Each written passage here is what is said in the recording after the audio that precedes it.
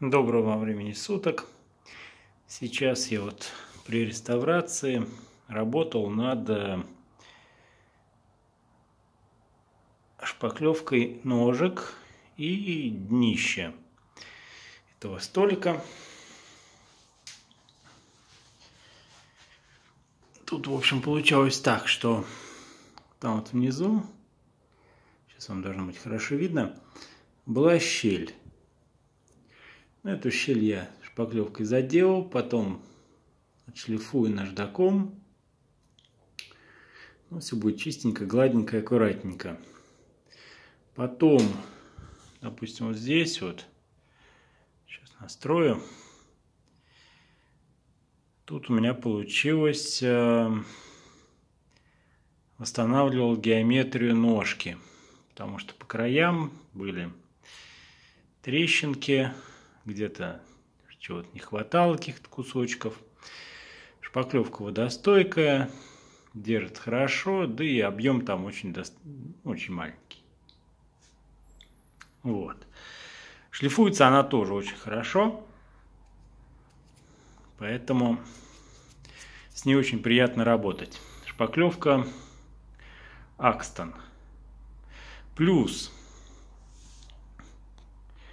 сейчас вот мы саму ножку, да, пятачок ножки. Ну-ка, пятачок, настраивайся. Не хочет настраиваться меня пятачок. В общем, он тоже был достаточно шершавый, вот. Я его зашпаклевал. Потом отшлифую. Ну и в принципе можно будет туда наклеить, вырезать войлочные накладочки. Само днище выглядит вот так. Вот оно. Все пятачки у меня здесь зашпаклеваны. Днище тоже. Какие-либо, если сучки, то я их клеил на клей ПВА. Но там совсем мало, можно сказать. На кончике листика бумаги туда подсовываешь, прижимаешь, потом шпаклюешь, шлифуешь. В общем, вот так вот как-то получилось. Потому что очень хочется уже покрыть лаком, шлифовать, опять покрывать лаком.